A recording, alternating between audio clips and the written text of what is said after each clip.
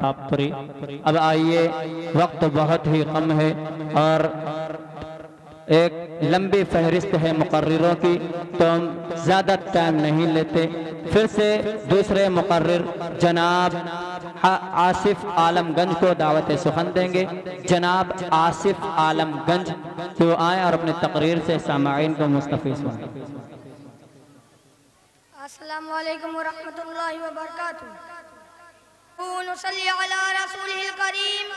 अम्मा बाद अऊज़ु बिल्लाहि मिनश शैतानिर रजीम बिस्मिल्लाहिर रहमानिर रहीम सदर मुहतरम और हाजिरीन जलसा ये मेरी बड़ी खुशकिस्मती है कि आप लोगों ने मुझे कहने का हुक्म फरमाया एक हकीर इंसान की आप लोगों ने जो इज़्ज़त अफजाई फरमाई है उसका मैं तहदिल से शुक्र गुजार हूँ मैंने आपके सामने दो आयतें पढ़ी हैं पहली आयत में अल्लाह ताला इरशाद फरमाते हैं, या रसूलुल्लाह सल्लल्लाहु अलैहि वसल्लम,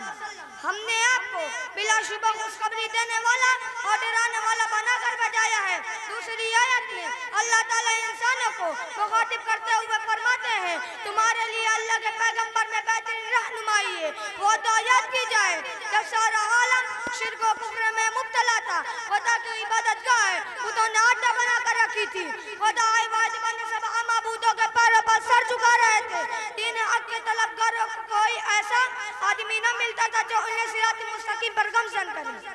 ऐसे मेरा महदी इलाही मुतवज्जो हुई अब वो शरियत का मौसम खजा रुखसत हो रहा था मौसम बाहर आया और इस आने पान के साथ आया कि सारा चमस्तान आलम गुल गुलजार हो गए शर्दियात की खुशबू चारों तरफ़ में फैलने लगी यानी पैगंबर जमा हादी पर हक फख्र रसल सरकार दो आलम जनाब मोहम्मद रसूलुल्लाह सल्लल्लाहु अलैहि वसल्लम एक कामिल और मकमल शरियत लेकर इस दुनिया में तशरीफ़ लाए अब दुनिया वालों के पास एक ऐसी आदिम शख्सियत आ गई थी जो हक सदाकत की अलमबरदारों को फौज और आखिरत की बशारत दे रही थी। और जुल्म सितम शिरक कुफर के अलमबरदारों को जहन्नम की आग से डरा रही थी।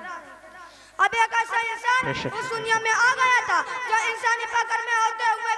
रोशनी था जो इंसानों के साथ रहता, शादी, बिया करता खाता और पीता जंग में सबा सलार करता मस्जिदों में वाजू तकरीरों से ज़िले का महल को चल साफ़ करता, उसके बावजूद वो बेदब था, उसकी करदार की तरफ़ किसी की उंगली उठी और ना उठ सकती थी। सिरात मुस्तकिम ने शैतानियों को एक नमूना मिल गया था चुनांचे उस नमूनों का सामने रखकर अपने ज़िंदगी का ढांचा दुरुस्त कर लिया। आई यार हम आप भी अल्लाह से दुआ करें कि वो हमें सही रास्ते ले चले। आखिर दाना